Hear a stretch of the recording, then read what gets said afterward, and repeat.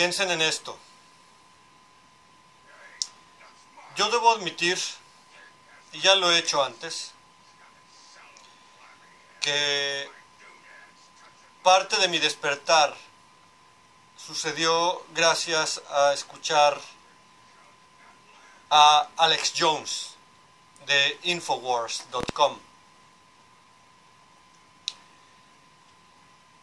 Lo escuchaba diario, llegó un momento en el que lo escuchaba en vivo, diario. Pero desde hace tres años, aproximadamente cuando inició su imperio y presumió que había comprado un edificio y lo estaba convirtiendo en sus oficinas y estudios y demás, perdió el suelo. Además de que bien se dice que es un infiltrador del mismo sistema. Eh, un sionista pagado por Israel y que tiene vínculos directos con sionistas, de hecho. Y pues yo lo dejé de escuchar, pero como muchos otros del mainstream media, eh, yo lo sigo escuchando de vez en cuando a través de su canal de YouTube, así como también escucho Fox y CNN y eh, CBS y BBC y CBC, etcétera, porque hay que verlos a todos para comparar y leer entre líneas, descubrir dónde está la mentira, etcétera, ¿no?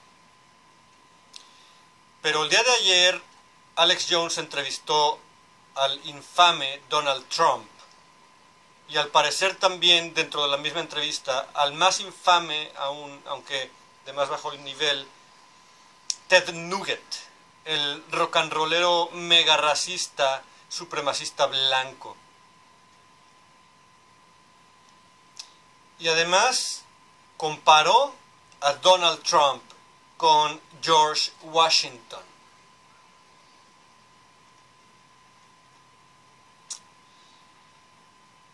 Así de patético. Un payaso que cayó en lo más bajo, que se regodea en su propia mierda de egocentrismo y narcisismo, que le miente ya a su audiencia que de hecho yo dejé de escucharlo cuando finalmente me cayó el 20 de que era un cristiano recalcitrante y que él apoyaba todas sus teorías de la conspiración, pero creía en un mito tan ridículo como el cristianismo mismo. Entonces es un payaso entrevistando a otros dos payasos. Tan simple como eso.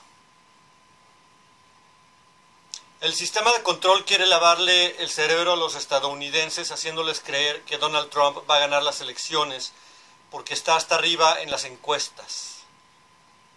Y eso es una mentira. Porque no solamente son rednecks y hillbillies los que y, libertarios hipócritas del Green Party los que van a ir a las urnas. También hay aborígenes, afroamericanos y latinos. Ah, y se me olvida, obviamente, musulmanes y ateos y comunistas y socialistas entonces, no, Alex. Qué triste. Qué patética es tu postura. Ya estás muerto. Ya estás muerto, Alex. Tu, reputación como persona, ya. Yo creo que ya tu audiencia solamente incluye a todo ese grupo de rednecks y hillbillies que yo tanto critico. Ridículo verdaderamente. Piensen en ello.